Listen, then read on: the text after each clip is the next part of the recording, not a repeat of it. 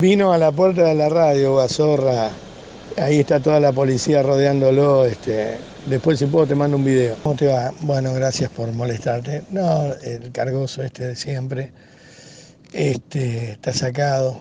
Y bueno, vino a la puerta de la radio, insultar de nuevo, este, cantidad de cosas. Y nada, y como ya tiene cuatro denuncias mías, yo me fui porque tengo mucho que hacer, ¿viste? tengo los dos programas.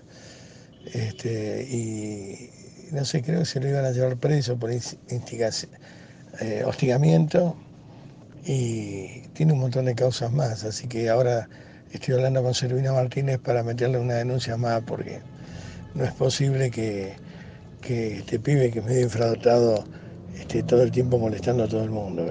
Pero había dos sentados en una mesa, dos enfrente, no se mueve solo. Eh, eh, se está poniendo bastante violento y difícil y encima que por mi condición yo no puedo reaccionar.